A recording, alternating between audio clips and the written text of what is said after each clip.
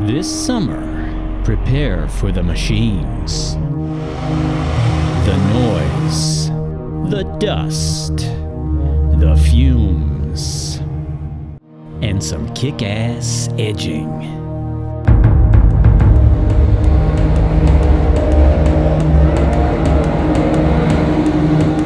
No lawn is safe or too small. The f- is he doing? and why?